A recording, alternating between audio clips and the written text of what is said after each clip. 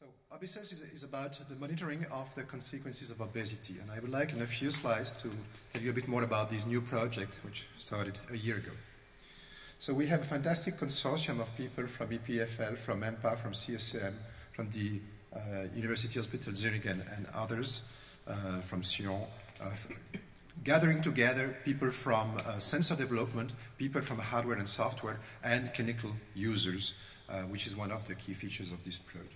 So basically, we are interested in obesity, which is a very important pathology, especially in our, our countries, with a lot of uh, medical consequences that, that, can be very severe, going from cardiovascular diseases down to diabetes or some types of cancer. So a kind of a wide range of pathology uh, deriving from obesity. And uh, it also causes quite a lot of death per year. And especially in Switzerland, uh, it has a high impact uh, almost 50% of the population is overweighted, including myself, and some of them uh, have even uh, severe obesity. And the economical impact of that is also extremely bad, with uh, an important amount of millions spent a year for treating those patients. So, how to prevent and treat obesity? Well, the guidelines are, known, and they include, they require long term monitoring of a certain number of uh, physiological factors. So we know what to do, but there is no real way to do it today. So such long-term monitoring systems do actually not exist, and that's exactly what we want to do in the project. Therefore, we have a project which is governed by very clear medical needs.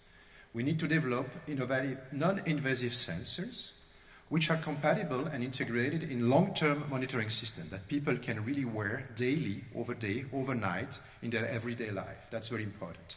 And so to do that, we will innovate in a certain number of domains, going from sensor and algorithms to hardware integration, integration in smart textiles, and with a clear clinical uh, drive. And so we have three clinical scenarios to do that.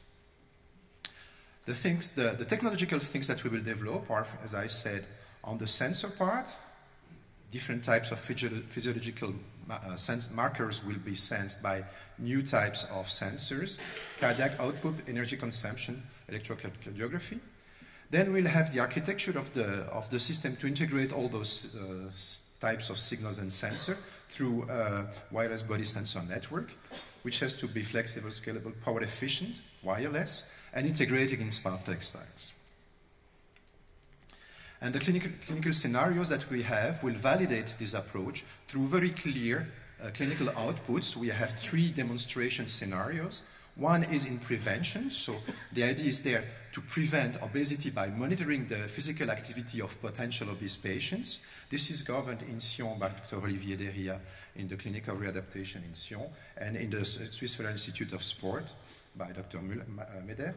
Then we have a second scenario, which is inside the hospital during the, the hospitalization, monitoring the consequences of obesity in terms of cardiac uh, problems, so obesity and atrial fibrillation, hypertension, and also diabetes. So this is during the hospitalization, and this is monitored by uh, Dr. Pruvot. And then after, we have an outpatient monitoring system, so monitoring the consequence in terms of uh, outpatient cardiovascular problems after the, the treatment. So our, our system that we will develop will integrate innovative sensors into an innovative wireless body sensor network with very clear scenarios for validation in three different scenarios with three different uh, demonstrators. And that's what we want to do in the next years.